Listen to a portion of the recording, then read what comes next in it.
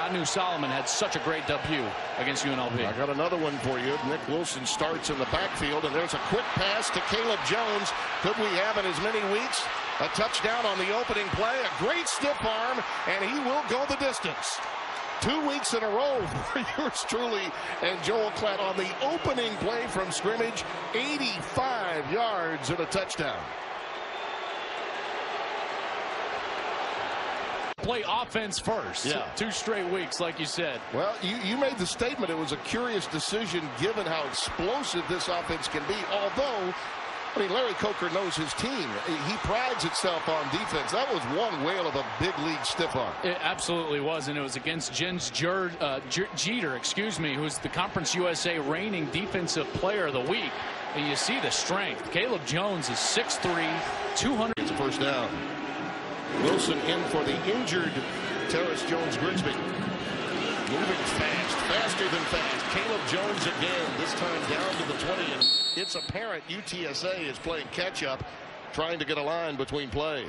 Is the utmost of importance when a team's going to run this many plays, especially with the athletes on the outside. Too many missed tackles so far in this game. A couple. Jones Grigsby was bothered by an ankle. Apparently, uh, may not play tonight. Passes caught. Jones ahead to the 40 yard line. Another gain of five yards on the play.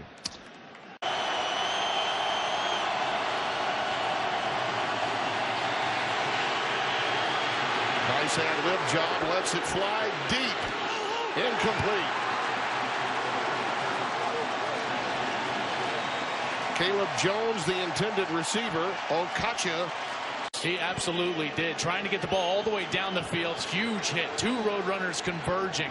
One of those Singletary on the tail end trying to find Cayleb Jones. A lot of hand fighting going on. I love that they let that go because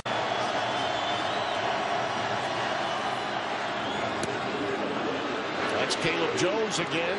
Look out. He gets those big gaits of his going. He can pick him up and put him down. He's all the way up to the 45 yard line and a first down. Yeah, the, the first guy is not going to bring Cayleb Jones down. That's become runs right through the first play right there. No wrap up. He just runs through it. Now it's going to take a few different road runs for UTSA.